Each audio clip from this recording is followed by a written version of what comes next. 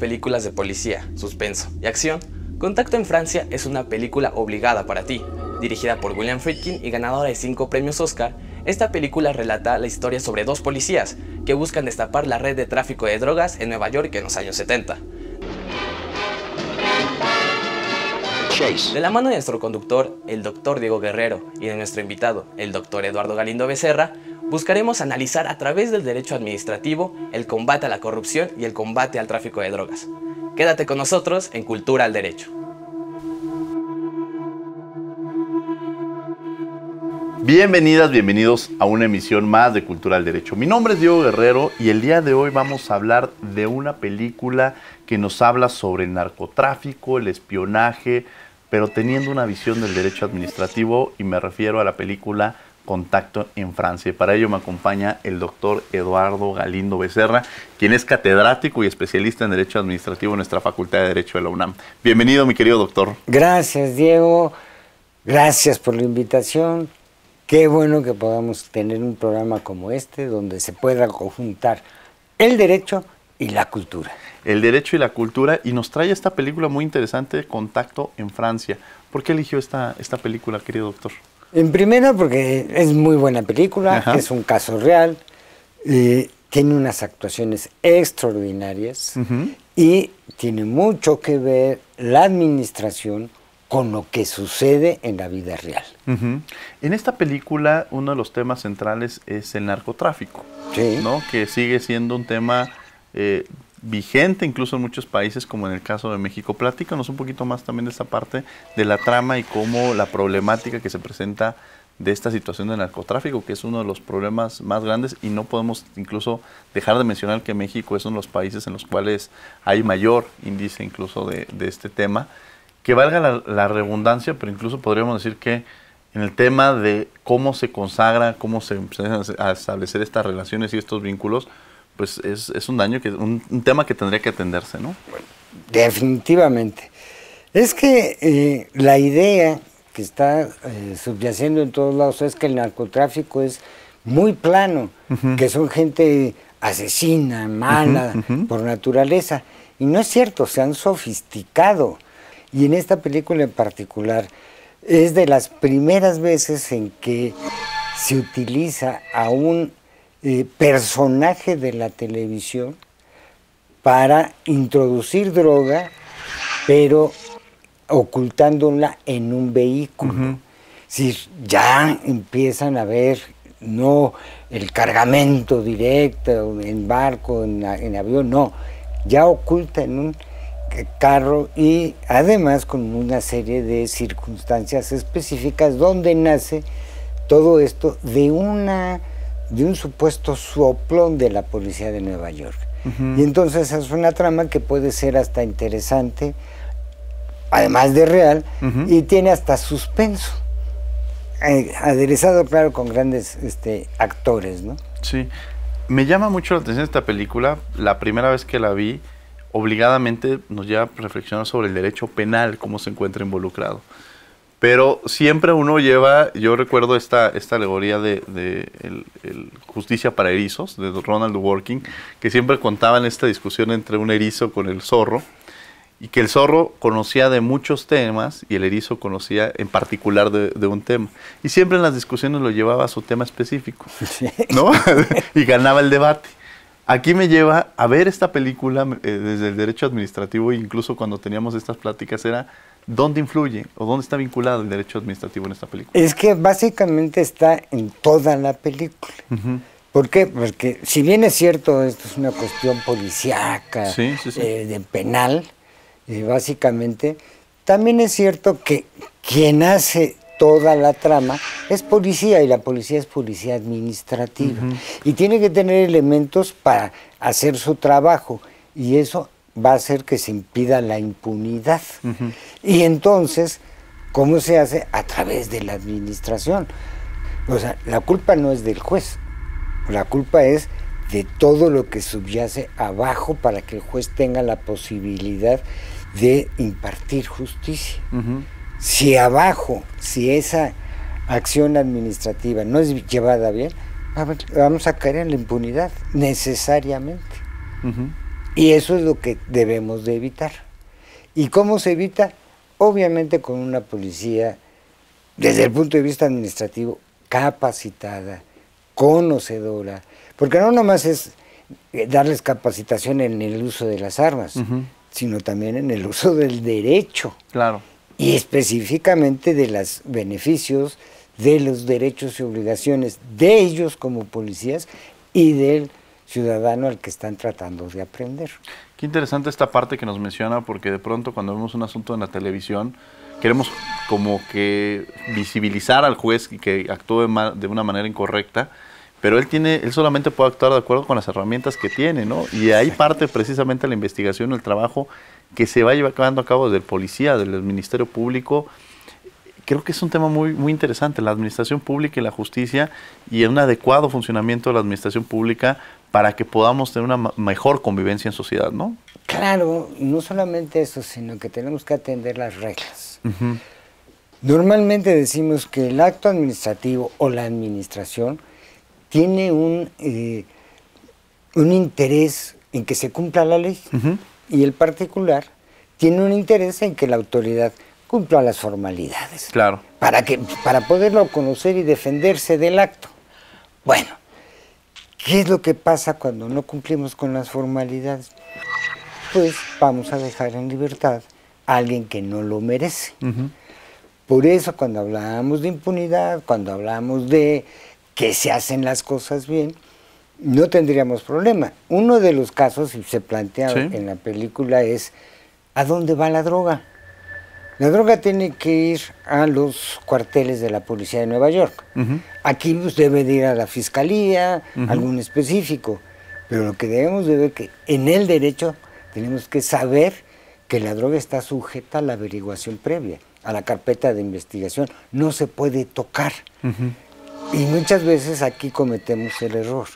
Se agarra un carro, por decir un ejemplo, de un narcotraficante, decimos, ah, pues ya está metido en la cárcel, sí, vamos a usar el carro para combatir el narcotráfico. Y ahí estamos borrando la evidencia. Cuando llega el juez, el juez va a decir, esto no puede ser evidencia porque ya lo tocó fulano, ya están las huellas de perengano, ¿cómo sé que alguien le metió la droga o, los rastros de droga que hay son realmente del, indiciado. Administrativamente el decomiso se da hasta después de la sentencia y mientras los bienes son intocados. Y esto es lo que pasó en la película. Claro. Los bienes se van a, ¿a dónde? al resguardo de la policía de Nueva York. Y eso es lo que sucede también en México. Hay que resguardar los bienes y ser intocados hasta que no haya una sentencia ejecutoriada. Qué interesante lo que nos mencionas, sobre todo en términos de derecho, que muchas veces uno se vuelve especialista en una materia, pero no puede desconocer otras materias. Nada más para fines académicos podría uno, soy especialista en derecho penal, derecho civil, pero tengo que conocer los principios básicos de las distintas materias. Vamos a tener que ir a un corte, no se vayan, estamos en Cultura del Derecho y regresamos.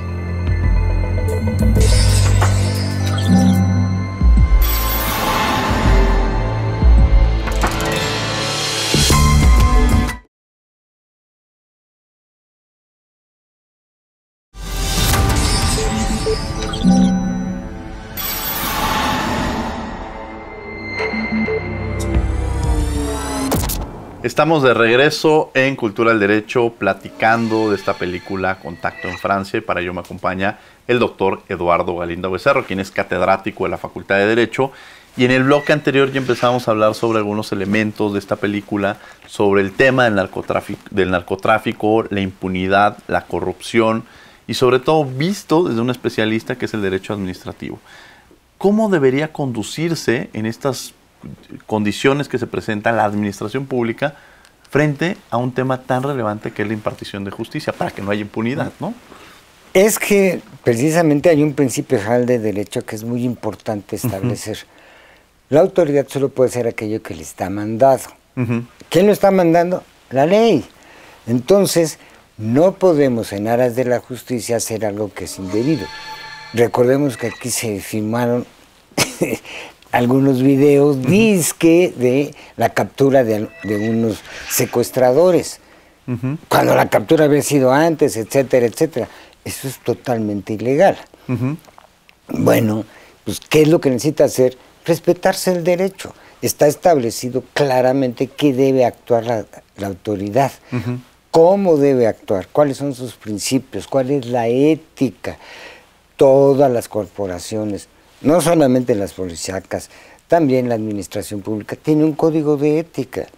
Y hay que quedar bien claros y establecidos que se debe de seguir rigurosamente. No podemos hacer excepciones. Y ese es uno de los problemas de la administración. entre serio y broma lo que decían de Juárez, ¿no? A los amigos, justicia y gracia. A los otros, pura justicia. Y no, debe ser conforme a ley todos. Claro. Me llama mucho la atención, hace rato planteábamos las condiciones de los policías, del Ministerio Público, y generalmente cuando algo de pronto sucede, corres a una, a una persona y creen que con correr a esa persona, pensemos en fútbol, pareciera que si corren al director técnico todo se va a subsanar, al presidente. En esa parte también parecería que con el hecho de quitar a una persona de un cargo se va a solucionar o de cambiar una ley, con eso es como una varita mágica que va a solucionar todos los problemas. ¿Qué tendríamos entonces que así, si no hay, yo sé que no existe esta varita mágica y que si la tuviera no necesariamente estaría ahorita en este programa, o quizás sí, pero ya habría muchos temas solucionados. Claro. Pero la gran situación es cómo logramos de alguna manera ir cambiando esta percepción en todos los aspectos, ¿no? Es que eh, eso que mencionas es extraordinariamente importante. No hay varitas mágicas, hay que trabajar. Es la cultura del esfuerzo. Y ese esfuerzo es no resolviendo los problemas por decreto, sino para actuar. Quien actúa es la administración pública. la, el poder legislativo simple y llanamente nos emite las leyes, algunos decretos, eh, el legislativo es el, judicial es el que hace la controversia, el que resuelve esas controversias. Bueno, ¿y quién actúa? Actúa la administración pública. Es el andamiaje para darnos un mejor nivel de vida, seguridad, salud. O sea, no se hace por, por decreto, se hace actuando la administración pública. Queremos buenos policías, lo primero hay que, ser, hay que tener capacitación, educación. Y no solamente en el tema específico de eh, los procedimientos o procesos policíacos, también en los administrativos, también en el derecho. No hay varitas mágicas, no hay elementos mágicos. En esta vida lo que necesitamos es cumplir con la ley. Hay que, como diría Serrat, que todo el mundo haga lo que está mandado y nadie mande. Claro. Entonces eso es lo que necesita. Ahora, de pronto, quizá para quienes nos ven y creen que es no sé, desde pagar impuestos, todo lo que representa, o cuando vemos que un funcionario prendemos la tele y hizo corrupción, ¿no? Parecería que si el ejemplo tendría que venir de la administración pública y esto no se está llevando a cabo, o en los ejemplos que usted ponía, cuando consideramos que el ejercicio de este derecho nos lleva a una injusticia, es decir, consideramos que el hecho de pagar estos impuestos es injusto porque no se están utilizando de forma adecuada. O sea, como qué mensaje para generar esta, que me parece que es un punto central, la legitimidad y credibilidad en la administración pública, ¿no? Es que precisamente viene eh, eh, todo un sistema. Si hablamos nosotros de que haya corrupción, para evitar la corrupción no basta con señalarla. Hay que pensarla con pruebas para castigar al corrupto. No podemos señalar y decir esto es malo. Hay que señalar por qué es malo. es, decir, tenemos todo, una, todo un sistema que debe ser reformado. Si no me parece, si hay injusticia, tengo la ley. Y esto es algo que es muy sintomático. Creemos que el legislativo solo hace leyes. No es cierto. Creemos que el Ejecutivo solo administra. No es cierto. Creemos que el, Judicial solo resuelve controversias. No es cierto. Los tres poderes hacen exactamente las mismas labores, pero cada quien en su ámbito competencial. Un decreto que puede ser ejecutivo, legislativo o judicial. Estamos haciendo los tres poderes un acto de naturaleza administrativa, porque el decreto es una norma que eh, es concreta e individual. cuando hace el legislativo un decreto, pues cuando le permite a un individuo portar una insignia extranjera. Ese es un decreto, no es una ley, es de carácter administrativo. El Ejecutivo eh, tiene, eh, de acuerdo al 49 constitucional, diferentes eh, excepciones para legislar. Y el judicial es el que más decretos emite porque decreta una sentencia, decreta un embargo, etcétera, etcétera, etcétera. En miles de juicios todos hacen lo mismo. Lo importante es que se haga esta división de poderes, pero para su ejercicio. Si todos hacemos el ejercicio correctamente, vamos a ir mejorando. Pero no podemos dejar a los policías, por llamarlo específicamente, sin educación, porque no nos alcanza el dinero, o porque ya son policías, o porque se metieron como policías porque no encontraron otro, otro empleo, y no los capacitamos. Claro. Entonces, es un mismo círculo que debe ser llenado para evitar precisamente la impunidad. Me llama la atención esto que menciona porque muchas veces eh, cuando pensamos que no hay recursos, pues la pregunta sería, pues, ¿por qué no hay recursos si todos pagamos impuestos? Este, más bien sería, ¿a dónde se están yendo esos recursos? y no se está priorizando precisamente un sueldo digno, porque creo que también partiría eso en el tema del de, Ministerio Público, los policías, y que también lleva la corrupción cuando tienen pues un sueldo que no cumple con los requisitos para poder tener una vida digna, como se habla en derechos humanos, frente también a pues todo lo que usted ya, ya menciona. Vamos a tener que ir a un corte, pero regresamos, no se vayan. Estamos en Cultural Derecho.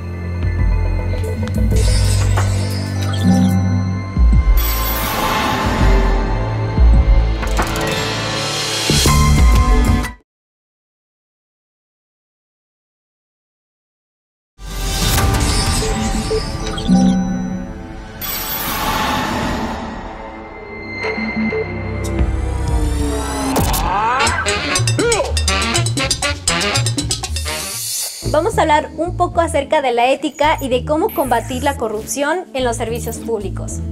La ética, al igual que muchas materias y servicios, se rige a través de principios constitucionales, los cuales son la legalidad, la honradez, la lealtad, la imparcialidad y la eficiencia.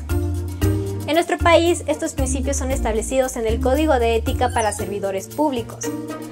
Estos principios actúan de manera directa en la conducta de funcionarios que ocupan algún cargo público, mostrando valores morales como la buena fe y otros principios importantes para la vida sana en la sociedad.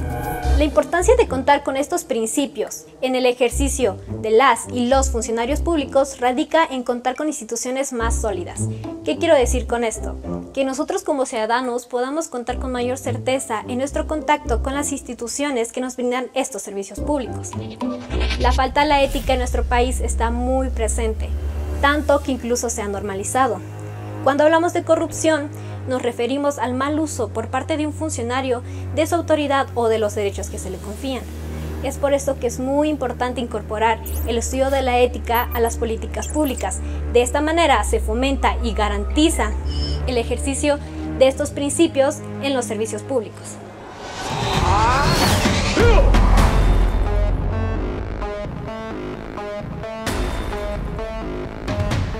Estamos de regreso en Cultura del Derecho hablando sobre esta película Contacto en Francia con el doctor Eduardo Galindo Becerra, quien es catedrático de la Facultad de Derecho y ya hemos ido platicando de varios elementos de la película y su vinculación con el derecho eh, administrativo. ¿Qué pasa en esta investigación? Platíquenos un poco ya dentro de la película. Dentro de la película. Es muy interesante porque todo surge de un aviso que le dan a la policía. Pero sobre todo subyace lo que hace la policía. Una investigación a fondo. No se preocupan por destrozar carros, por este, choques, etcétera. Porque al final de cuentas, la policía, si el, eje central de la policía, pagará a los desperfectos. Ellos están en investigación y tienen la posibilidad de actuar para que un juez no deje libre al, malo, ¿verdad? Que de hecho el presentador francés es llevado ante la corte y después lo dejan salir a trabajar.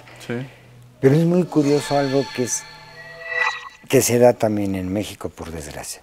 el verdadero malo sale libre.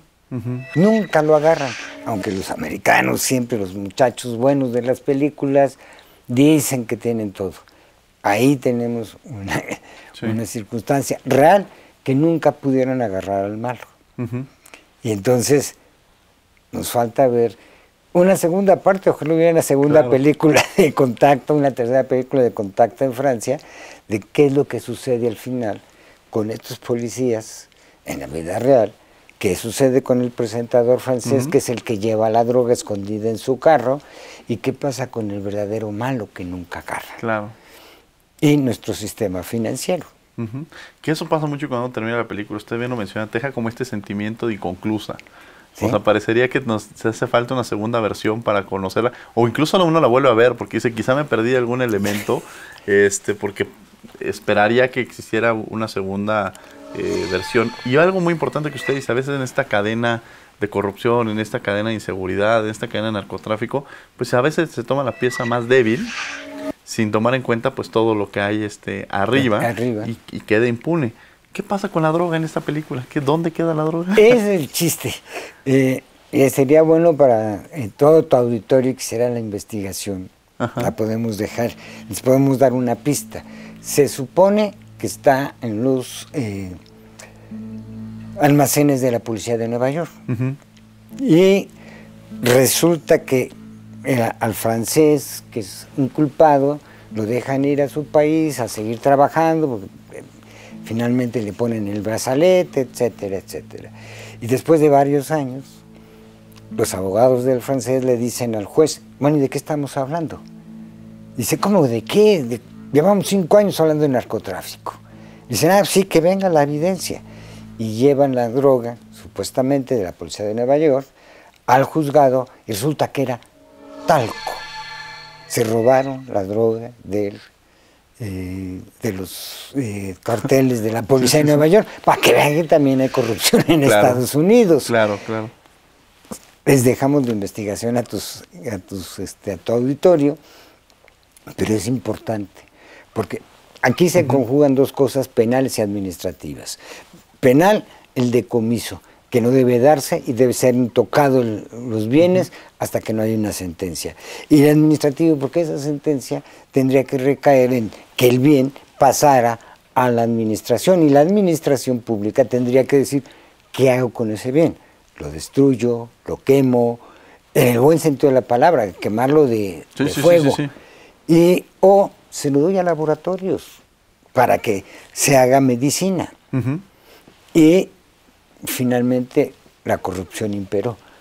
Los pobres policías, que fueron muy eh, reconocidos en su momento, no tuvieron nada más que el reconocimiento. Claro. Y aquí tenemos el problema que no solamente no son reconocidos, sino que además los sueldos, con todo respeto, son miserables. Claro.